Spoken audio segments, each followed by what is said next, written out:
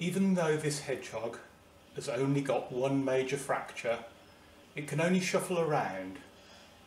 This is because the bones and joints in its other legs are also painful and that's the result of microfractures of the very weak bones in its other legs. Let's have a look at the x-rays of this hedgehog.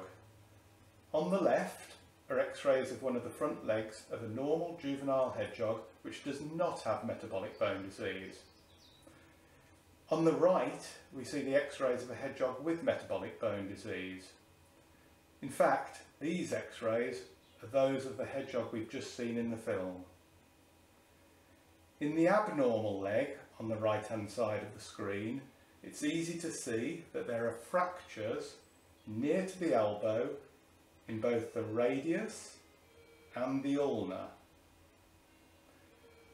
Also, the normal radius and ulna have much whiter edges or cortices like tram lines running down the edges of the bone. On the abnormal leg, you can't see that.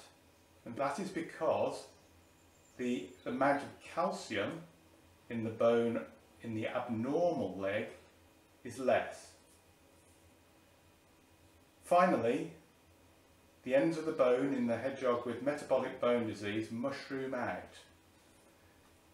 In the normal leg, the bones triangulate out a little, but not into a big mushroom shape.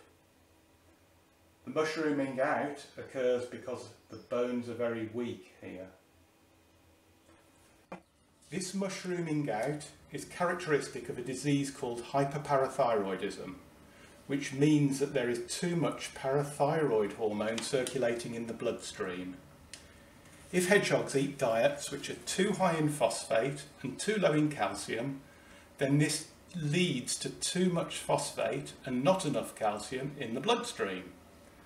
Now, if calcium levels in the bloodstream are too low, this can be life-threatening and hence the body responds by dragging calcium out of the bones so it can correct the amount of calcium in the bloodstream.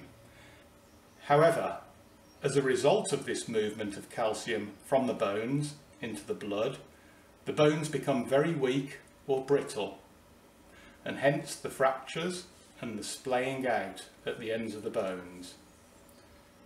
So it is very important to feed diets which are very well balanced. Studies show that mealworms, for example, can contain up to 30 times more phosphate than calcium, Sunflower hearts and peanuts also contain too much phosphate and too little calcium. And so if mealworms, sunflower hearts or peanuts are given to hedgehogs, it could result in bone weakening and fractures.